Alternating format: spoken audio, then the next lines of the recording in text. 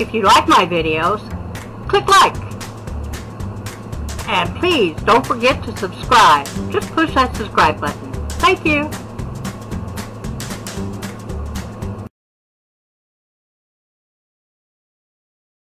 Hi guys, it's Momma Eadie. And I'm here today to tell you something that you probably think you already know everything about. But do you really? Do you know about antifreeze? Of course you do. Do you know that it can be poisonous to your dogs? Probably so. Do you know why or what the symptoms are if your dog gets a hold of some? Probably not. If you do, good for you. But if you don't, that's what I'm here to tell you today. Uh, there is a chemical or a toxin, urethane glycol, that makes antifreeze lethal. And because of this, dogs will consume great quantities of it before being repulsed by its aftertaste. By then, it's too late. It does not take a significant amount of ethylene glycol to cause fatal damage to the system. Less than 3 ounces, or 88 milliliters, of antifreeze is sufficient to poison a medium-sized dog. So if you have a small dog, think about how quick it could happen. Antifreeze poisoning affects the brain, liver, and kidneys. Uh, it's also found in engine coolant and hydraulic brake fluids. So when you're doing working on the cars, guys, be careful. Some of the symptoms are drunken behavior, uh, delirium, euphoria, wobbly, uncoordinated movements, nausea, vomiting, excessive urination, rapid heartbeat, depression, weakness, seizures, convulsions, shaking tremors, fainting, or coma. And uh, what you need to do is, as soon as you realize your dog's got no antifreeze, call poison control, which I will put the phone number up here. I actually made a clip about poison control before. I will put that video up right here where you can get a hold of it. Um, but uh, for immediate first aid, and only if you're positive that your dog has ingested antifreeze, try to induce vomiting by giving your dog a simple hydrogen peroxide solution of 1 teaspoon per 5 pounds of body weight. 1 teaspoon per 5 pounds. So if your dog weighs 40 pounds, that is 5 into 48, I believe. I'm not good with math. With no more than 3 teaspoons given at once. So, no, not 8. Uh, so 1 teaspoon per 5 pounds of body weight with no more than 3 teaspoons given at once.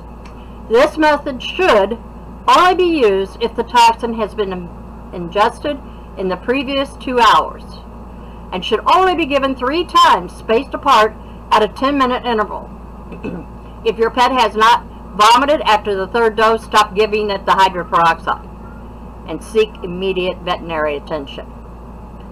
Uh, you know, first thing you need to do is see where your 24 hour veterinarian hospital is. Ours is almost an hour away. Actually, probably close to an hour away. Be prepared for that. Know where it's at. So, make sure you got that on, and, and have their phone number, by the way, where you can find it, just like you would if it was, you know, for humans. Uh, it says you may want to call your veterinarian before trying to induce vomiting since it can be dangerous and sometimes toxic with poisons will do more harm coming back through the esophagus than it did going down. Do not use anything stronger than hydrogen peroxide without your veterinarian's assistance. And do not induce vomiting unless you are absolutely sure of what your dog has ingested. Also, if your pet has already vomited, do not try to force more vomiting. Uh, do not induce vomiting if your dog is unconscious. Of course not or is having trouble breathing, or is exhibiting signs of serious distress or shock. Whether your pet vomits or not, after the initial care, you must rush it to the veterinarian facility immediately. Your veterinarian will be able to safely administer antidotes to the poison, such as activated charcoal to prevent further absorption of the toxin. And for mifeprinones, which can treat antifreeze poisoning very effectively.